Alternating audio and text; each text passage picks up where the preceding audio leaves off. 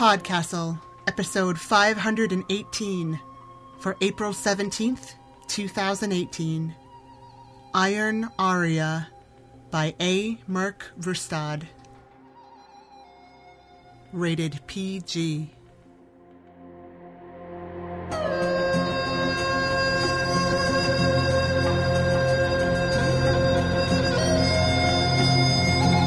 Hello, everyone. Welcome to Podcastle. I'm your host, Setsu Uzume. Today, the Flying Castle is setting down in colder climes, where nature can be held back, but only for so long.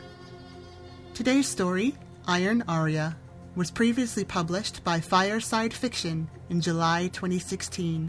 It was written by A. Merc Rustad.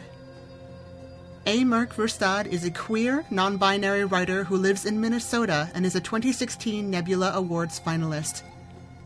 Their stories have appeared in Lightspeed, Fireside, Apex, Uncanny, Shimmer, Cicada, and several years' best anthologies.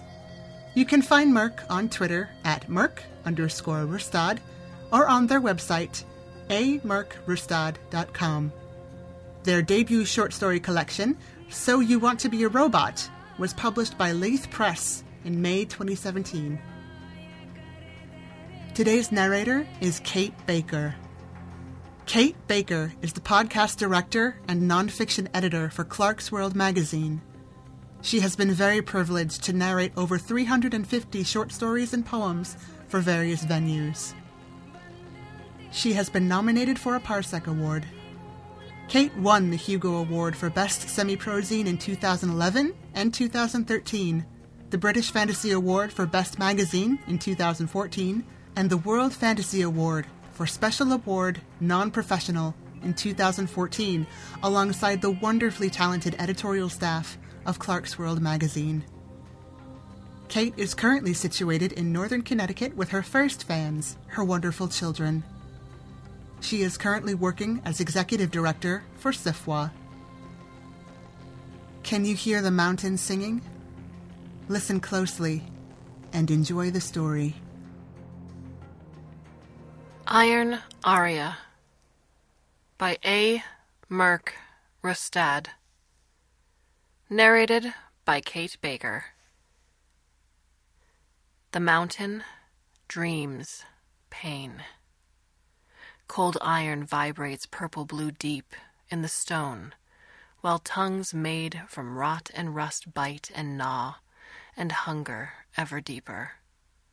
The dam, buried like a tooth in the mountain's narrow gums, holds back the great burgundy ocean. Otherwise, it would pour into the Agate Pass Valley and swallow up the mining town at the mountain's toes. From an owl's eye, the dam is almost as big as the mountain, built 500 human years ago. The infesting tongues burrow in from the sea sent by angry water memories. The sea cannot see its children in the lakes far beyond the dam, so it sends corrosion into the mountain, into the infinitesimal pores of the dam. The mountain is being devoured from the inside, and it screams. Kairu squints up at the mountain in the moonlight. It slopes massive and muscled against the ice black sky. The mountain's dream noise woke him from his own nightmares. The loudness of steel blood breath, of his mother's last words, and he shivers in the late autumn night.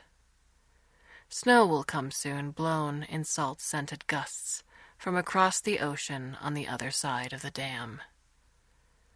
He sits on his windowsill, the shutters thrown open, its only one floor's drop to the burlap covered garden below, and then twenty steps to the forge, where his heavy boots and thick gloves hang on pegs, where his rucksack, stained from coal dust, waits with his leather apron.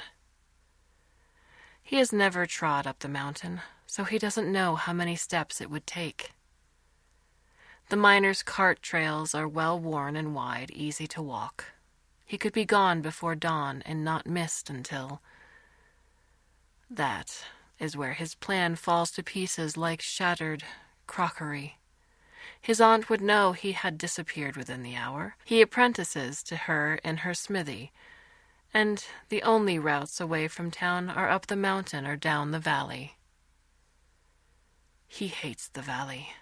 Its floor is littered with unknown graves, mournful bones, his last memories of his mother and sister. He craves escape and does not know how to unearth it. Dawn chips away the clouds, and it is once again too late again to run. Kyra, his aunt calls from the kitchen. Get dressed. It's a long forge day. He flinches at the wrong name slipped like a needle under his skin. He climbs from the chill window and grabs the heavy leather belts he uses to flatten down his chest before he pulls on his shirt and trousers. In the kitchen, his aunt straps on her leather apron as her husband scoops warmed day, old oatmeal into trenchers for the three of them. Kairu shuffles to the table, his sketchbook under his arm. Mint and honey spice the breakfast. He gulps his warm cider to keep from having to speak. His aunt shovels her oatmeal in huge bites, saying around mouthfuls, We got a big order from Brynu down at the farrier's. He's armoring some new plow horses for hauling ore through the crags. He doesn't want to take chances on the wolves being hungry this winter. Kairu nods. Kyra, his uncle says with a sigh, what are you wearing in your pants? Another bunch of sackcloth? Kairu scoots his chair closer to the table so his uncle can't see his lap. His aunt shakes her head and shoves her empty trencher aside. Oh, she'll get over it eventually, Dairu. But glad she's as skilled in metallurgy as her mother, ages rest her memory. His uncle shrugs and clears the table. Well, at fifteen, I'd hoped she'd be eyeing herself a suitable husband by now. Folk talk more and more, you know. Ah, let folk talk. Long as Kyra pulls her weight in the forge, she can put off the men for years, for all I care. He has no interest in marriage, to another man or not. He's never been attracted to other people the way everyone else places such value in. When he dreams of escape, he pictures himself in his own forge, content with metal song and the warmth of burning coal, visited only by people who call him by his true name. His aunt claps her hands brisk and loud. Come on, the farrier's armor won't forge itself. Kairu's stomach cramps. He leaves his meal unfinished. The bitter air warbles at his ears. Pleasant gray chill washes the kitchen heat off his skin. He looks up at the mountain. Over the dam lies the sea. He has never heard of water carrying the make of a person's bones and flesh. It all sinks in the end. Kyra, his aunt snaps from the smithy door. Daydream at lunch. Kairu ducks his head and shoves his hands in his pockets. Even the promise of singing to the metal when his aunt can't hear is dulled by her impatience. He hears the soldiers' swords before the town's alert bells sing. A regiment of 100 soldiers in emerald uniforms and sun bright armor marches into the agate pass, the Lord High's brilliant banners snapping in the cold air. The town of Agate Pass is the last frontier hold on the mountain. Other towns in the region have withered and crumbled, but Agate Pass holds fast. The dam was supposed to bridge commerce, power great wheels, and generate trade and wealth through the valley. But dour luck has clung here for generations, the dam now only a bridge through the mountain passes to the flatter lands and the empire outside the valley. Kairu watches, his legs rigid, from behind the cedar fence that corrals the geese into the yard beside the forge. A half dozen imperial knights, their plumed helmets shaped like roaring lions, stride toward the smithy. Miners readying for work edge along the road, watching. Smith, the knight at the front calls, deep voice rich and thick, like the hair that coils down over his breastplate in a thick braid spun with ribbons. The gold leafing along his shoulder pauldrons mark him as a general. Kairu's aunt shuffles past him out onto the front stoop of the smithy and bows low. Welcome, hands of the Lord High. As the knights draw nearer, their armor hums with wariness.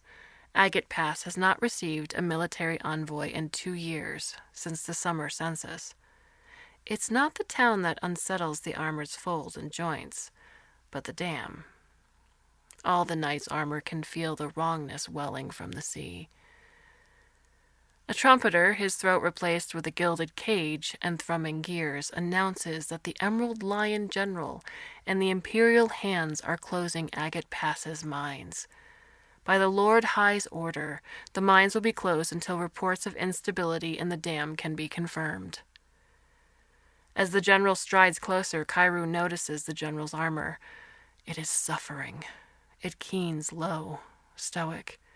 A burning pain lingers from the battle smithy done on the road, incomplete, which left unseen scars.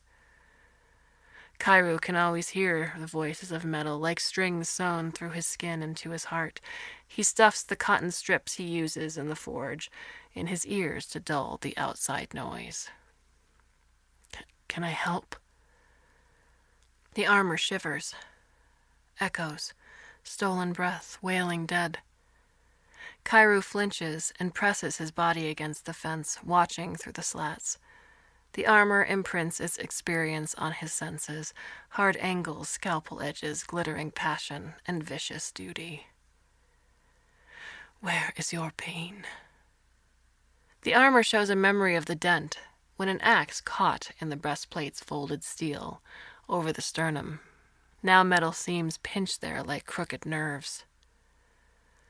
Dusts of kin scattered, knife sharp, buried, blood stricken. Kairu rubs his arms above the copper bracers he wears. They belong to his mother, forged by her hand when he was born. She wrought them with sigils to give light in the darkness. By that light he found his way to Agate Pass the night his mother died. The general pulls off the helmet and tucks it under one arm. The general's features are heavy set, highlighted with rouge and eyeliner, lips colored coral pink. A coiled sigil, whorled threads branching leaf like from delicate roots, is tattooed on the soldier's temple just under the edge of hair. Kairu recognizes the symbol, often painted on skin in the bigger cities. It denotes feminine gender, subtle and elegant. The general is a woman. Kairu's heart trips. She is like him, only opposite. He's seen other men with the masculine symbol, waving lines like a river encircled in a sharp edged sun. He scratched it on his cheek in charcoal once, but washed it clear before his aunt saw. Smith, the general says again.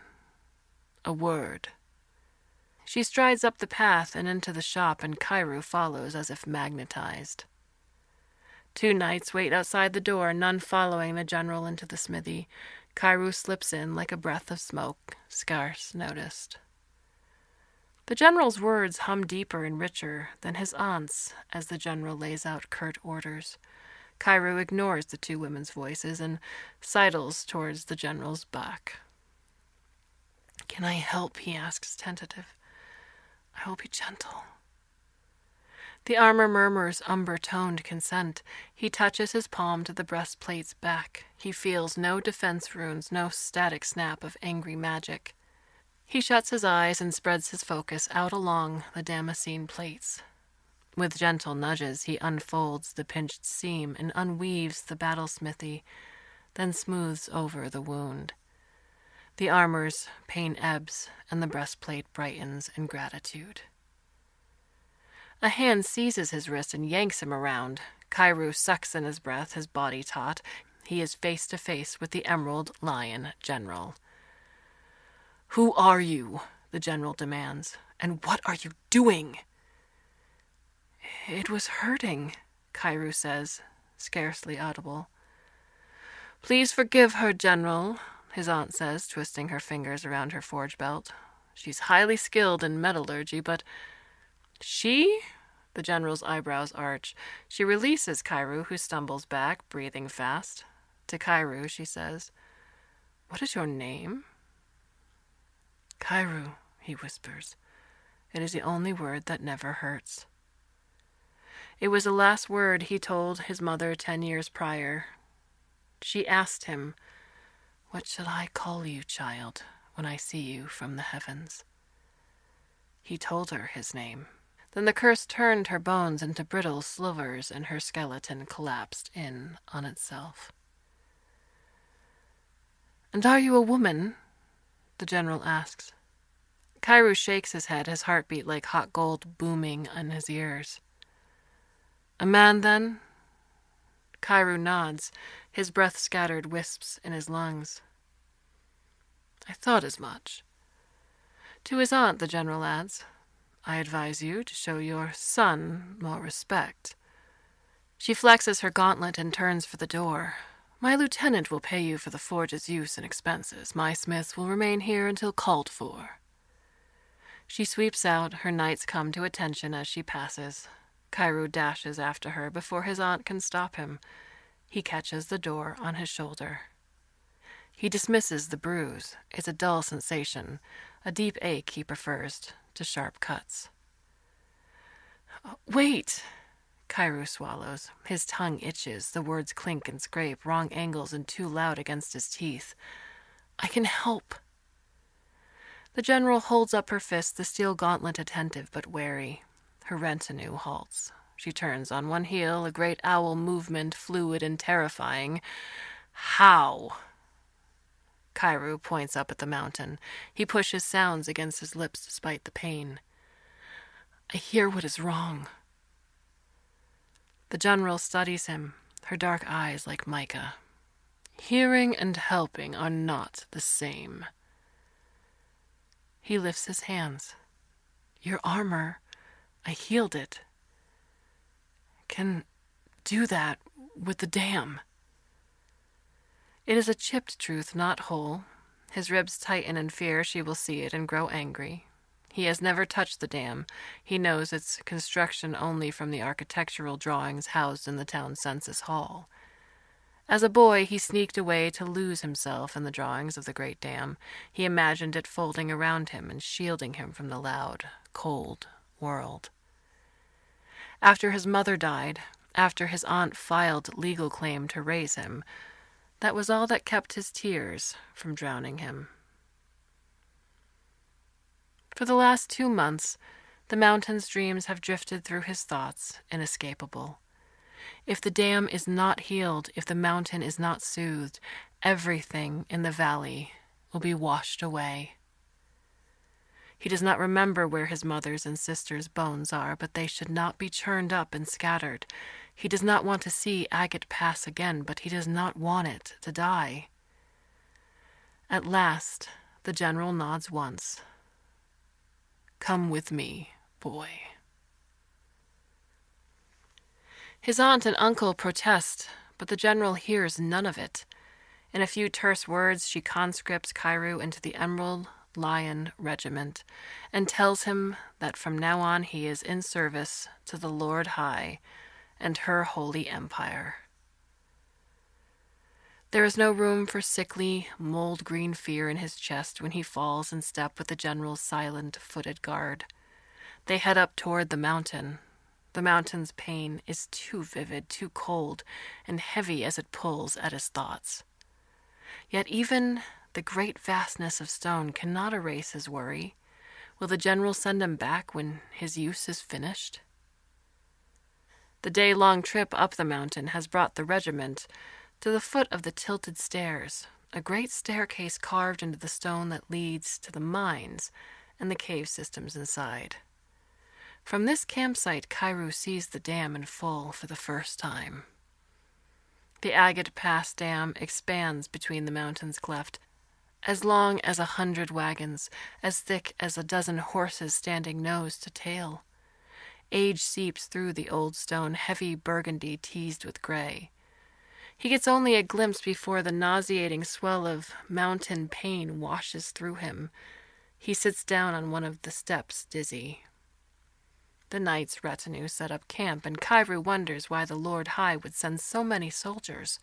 He dares to gesture, faint and quick, at the armored men and women around him as he looks at the general in question. She offers a half smile. The last two expeditions sent here haven't reported back, the general says. I've had reports of maddened animals and crazed bandits. What have you heard? He ducks his head. Hurt. The general grunts.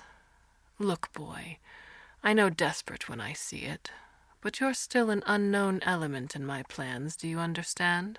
Your metallurgy will prove useful, but I want you to stay out of my engineer's way when they arrive. Let us do what we've come here to do.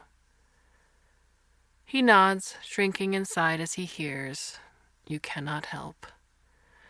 Is that his curse? He couldn't save his mother and sister. He can't change his body. He can't heal the mountain and the dam. Night lowers its curtains. Starless and full of clouds, Kairu keeps the cotton in his ears against the clamor of cheerful pots and sarcastic ladles. The knight's armor is restless, anxious this close to the mountain. Only the Emerald Lion General's mended armor seems calm. Kairu pulls out his sketchbook and flits charcoal over the thick paper. The smooth pulp soothes his fingers while the copper bracelets murmur comfort into his bones from wrists up to his jaw. He hunches over nonetheless, using the slope of his shoulders to hide the awkward bulge of his chest in profile. He draws what he hears and dreams, what the mountain's nightmares show. The furious ocean, hurt and mourning children dying far from the parent waters, stripped of salt and memory. The metal cannot see which way to go. Veins of ore twist and writhe while the great iron beam sunk long ago into the consenting stone. We lock down the tunnels in the morning, says the Emerald Lion General. Her name is Tashavis. She sits cross legged with her boots polished and standing to attention at her side as she paints her toenails a luminous green. The engineers can examine the dam and find the source of the disturbances. Has Jassa reported back yet? Not yet, one of the soldiers say, her jawline grim. I've had no word from her since she went up this morning. Kairu chews the inside of his cheek. Dawn is so far off. He walked in silence beside the general most of the day, but each step deepened the unease in his belly. The mountain's pang is growing worse. He is not sure. They have until dawn. He flips through his sketchbook, his fingers tracing familiar pictures as he looks for an unused page. He must illustrate the urgency to the general. There is little space left on the paper. Tashavis jerks her head at her soldiers. Set a double watch. Everyone, light rest. We move at dawn. Kairu sits just close enough to the fire to see his paper and feel the fringe of heat, but not too close to the soldiers. As the knights disperse, he edges closer to the general. Her armor hums welcome, and he offers it a tiny smile in return. General? Tashavis glances at him. Ah, Kairu, how was your first day of conscription? She flashes him a smile. Not quite the excitement you pictured, I imagine. He hesitates. Despite his aunt's refusal to call him by his true name, they'd developed a useful shorthand and hand gestures when in the forge. He does not have such a luxury with Tashavis. Kairu bites his lip. No. You're an artist, Tashavis says with a nod at the sketchbook. My brother likes to paint as well. You've heard of the dragonfly general? Kairu shakes his head. He doesn't want to interrupt her, but he needs to make her see they can't wait until dawn. Tashavis chuckles. Well, he didn't earn the title through paints, admittedly. I'll tell you war stories later. What's this one? She asks, her eye cornering the open page. It's Kairu's self portrait, the one he made when he first saved his pay from the forge to buy the paper and charcoal. He placed it in the middle of his sketchbook, a single blank page beside it. Kairu rendered his dream of changing his skin on the, to the paper, becoming smooth, polished metal, androgynous planes, to flatten his chest and hips, his bones wrapped in copper and his skull hairless, domed in bronze. He would have steel mesh fingers, flexible and strong. His ears would be replaced by tiny mechanical doors he could close to keep out noise when he needed silence. Deep iron for his throat and lungs to lower the timbre and register of his voice. A metal boy, but impervious to heat and sound, a perfect smith. He would train his skin not to feel unpleasant textures so he could dress how he liked. His eyes would be silver, with gold pupils, so he could stare into the sun without becoming blind, and see far, far into the night sky to watch the stars dance amid the cold, deep spaces between. He dares not to shut the book and hide it now that she's focused her attention on him. Hesitantly, he points at himself. Tashavis extends a hand, and Kairu sets the sketchbook on her palm. His fingers shake. She pulls the sketch closer, his gaze sweeping like an unstoppable tidal wave over his true self rendered in charcoal. It's beautiful, she says, and hands him the sketchbook back. You capture your likeness effortlessly. Kairu blinks, his mouth sticky dry with surprise. He accepts his sketchbook. I'm glad you know yourself, Kairu. I was twice your age before I found the courage to show who I was, even to myself. She adorns her nails with quick, sure strokes. All persons deserve to have their names and bodies respected. Pain prickles at the base of Kairu's spine, twinging the skin of his hips. He stiffens and lifts his chin. It's not noise but he feels old metal burned and soured with salt, hateful and hurting. He jabs his finger at the far edge of camp where the metal draws nearer. Someone's coming. The words dig at his gums, splinter under his tongue. He spits them out, fast. Dozens, angry, want to kill us. The general snaps to her feet, her paints tumble in green blue pooled stains by the fire. Swords! Ready! The camp unfolds like a fierce steel trap, soldiers springing to attention. A gurgle comes from the edge of camp. A severed hand skitters through the dirt, clutching the warning whistle. The general curses and draws her saber. Kairu claps his hands over his ears. From the shadows outside the camp, skeletal figures and moldy leather covered crustaceans stagger forward, carrying the smell of brine and flotsam and a heavy miasma. Seaweed falls from eye sockets long rotted out. Mouths hang agape, teeth broken like mollusk shells, salt dripping from exposed bones and calcified flesh. The bandits' hands have been replaced with remains of old swords, hooks, saws. The metal seethes, dragged from the deeps to the stinging air, denied oblivion. Rusted threads corroded by the ocean hold the dead bandits together. The soldiers crash against the undead bandits, pulled from the sea. Those bodies are fueled with rage and hunger, like the ocean, like the mountains' pain. Tashavis strides towards the invaders. Her armor brightens with war sigils, fiery green with deeper highlights until her breastplate glows with a rampant lion and the armor roars.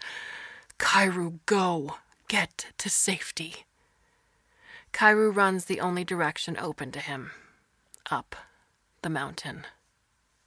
He bruises his toe and shins as he scrambles up the steps. The copper armbands glow faint amber to light his path, but it hardly pushes back the dark into the mountain where the air is damp and cool, he hears the old metal in the stone's veins. Mining tunnels. He read a memoir from one of the first miners in Agate Pass, one of the stone masons who scooped out trenches into the rocks between land and sea with her bare hands. Kairu keeps the illustrations from that book in his head, traces the woodprint edges with careful memory. His favorite was the one of Mason Erusa, standing on the mountain, holding a great boulder aloft as if about to throw it into the sea. There were maps in the book, too, like worms wriggling through the paper, inky trails to show where the original mines had once been excavated before it was deemed too dangerous and the passages were closed, and new tunnels developed further down the stairs. Deeper, he runs. The metal cries out louder, thundering in his thoughts. His ears begin to bleed, hot itches that crawl down his neck. Pressing, drowning, writhing, burning. Kairu stumbles and lands hard on his knees. Here the tunnel branches, but he can't remember the map. In his memory, the pages keep blurring. Which way? Instead, he sees his family, himself, his mother, and his sister, with their few belongings, pushing through the forest from the coast up toward the mountain. They fled the ruins of salt wash boards and icy ropes, all that was left of the shanty town, their home, after the unhappy waves destroyed it. In the forest, along with the few other persons and broken families who had survived, they came to a wide stream, dark and rippling with unanswered voices. From those waters rose the old dead, left to rot for so long. He wasn't near enough when the old dead attacked. He'd been looking for the perfect stick to make a sword, so he could become a guardsman for the Lord High. He'd heard the screams, his sister's first, and then his mother's clarion voice invoking a death curse that would shatter all the dead. His mother saved half the people in their little band of survivors. He ran back, wielding his stick, terrified, but when he found her, the damage was done. The old dead were no more, and his mother lay dying beside his sister's tiny body. If he had been there, perhaps the old dead would have gone for him first, not little Zyra. Range, sluicing, thick, cold, unbearable. It hurts. It hurts. It hurts. Kairu presses his palms against his ears. The metal jars him from memory, from guilt. Too loud. Too loud. Too loud. Stop. Burns, the metal cries. It consumes. It takes all. Kairu fumbles for his sketchbook, rocking on his heels, and realizes he left it in camp. He has nothing to ground himself with. He squeezes his eyes shut, clinging to his copper armbands. Need to think. Need the red noise to go away. Can't help you when you shout. It comes out, a cracked whisper, as though sent to the metal and stone. Please. Stop, please. Slowly, too slow, the metal voices dim and subtle, pulling the pain inside so it doesn't spark and wash over Kairu in blue hot waves. Kairu breathes deep, pictures pink copper roses and bronze lilies shaped with touch and heartbeat. Can you help? Kairu keeps the flowers in front of his eyes, keeps breathing. His neck is stiff, orange sore, but he can dip his chin nod. Yes. Careful, quiet, unlike before with his family, with himself, the metal and the mountain can yet be saved. Yes, but you need to listen softly. We can't let the rot hear. Kairu presses his hands against the mountain skin. He can feel the dam, a mastery of old smithwork, great steel beams, fibrous mesh, and iron braids wound through uncounted tons of stone, and a dam that holds back the sea. It's hurting, chewed away by the rot. The dam's umber pain echoes back against Kairu, and he bites the inside of his cheek to stop it spilling out into the mountain evermore. Let me help you, he says, desperate. Please. The mountain gives consent. Kairu shows the new iron where to slip through cracks in the mountain's bones, guides the tendrils toward the dam. The metal follows his will, echoing back into him until there is only a call and response like heartbeats, his to the mountains, the mountains to his. Hurry! Rumbles the supports in the wall. The water presses. Kairu's arms tremble, sweat itches his face, stings his eyes. The blue pain echoes through his gut and up to his jaw until his head feels too heavy to stay attached to his neck.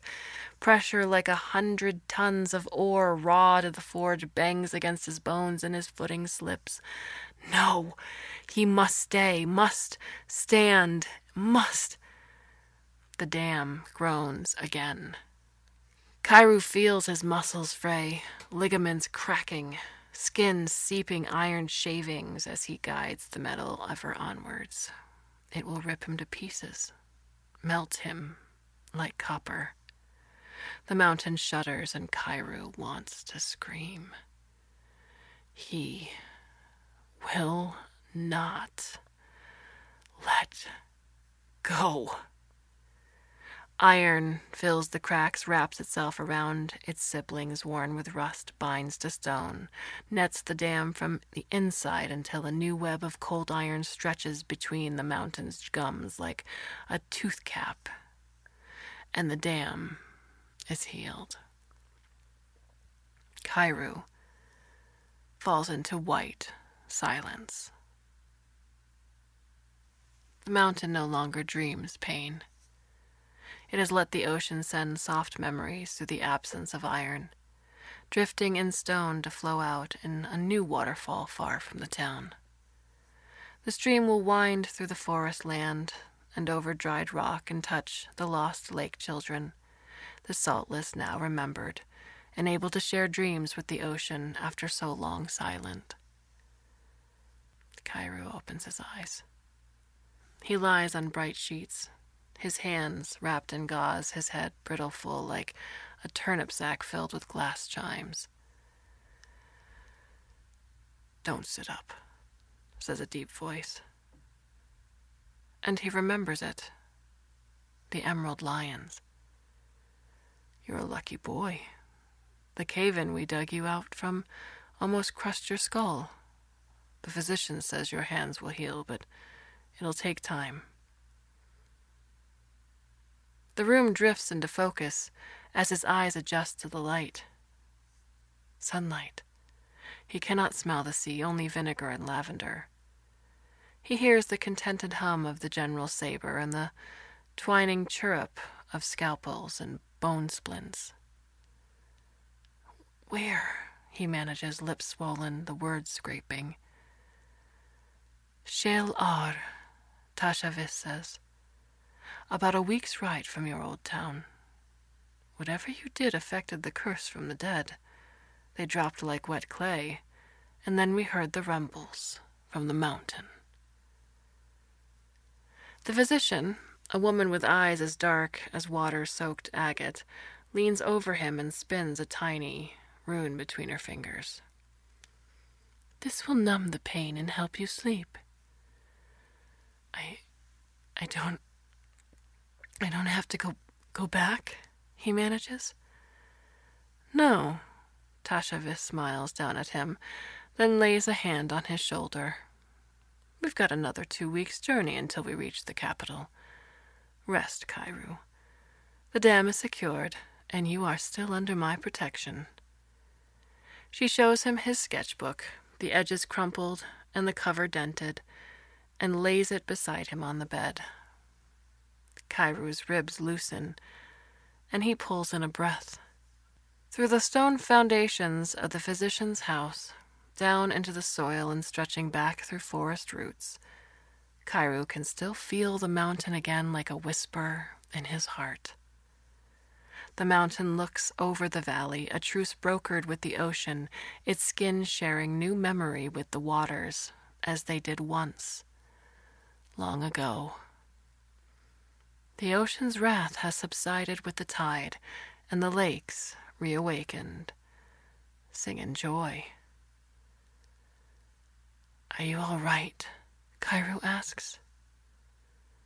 Yes, the mountain says. Are you? Kairu smiles. Yes.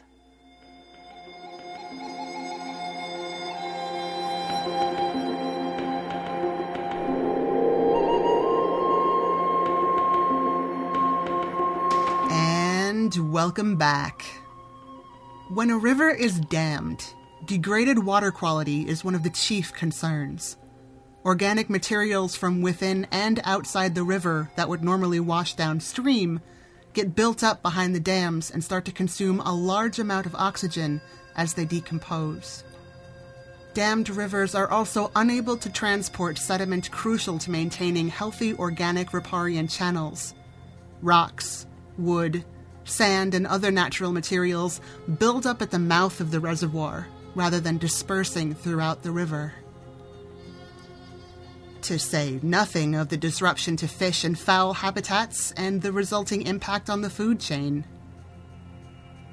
Forcing a person to behave or present outside the scope of their flow has similarly broad and dire consequences. When someone tells you who they are, it's not up for debate, nor subject to correction. Rivers and people need to flow, and human civilization would do well to flow with them, not in spite of them. General Tashavis knows what's up. That's our tale for today. If you liked what you heard, tell your friends, tell your family. Consider donating or subscribing to our Patreon. On behalf of everyone here at Podcastle, our co editors Jen and Khaalidah, our audio engineer Peter, our forum moderator Asikat, and our wonderful crew of associate editors Suyi, Eleanor, Aiden, Crystal, Raj, Stephen, Matt, Devin, Elora, Arun, Stephanie, Julia, Hamilton, and Naru. Thanks for letting us share another story with you. We've got to fly, but we'll be back next week with another tale. See you then.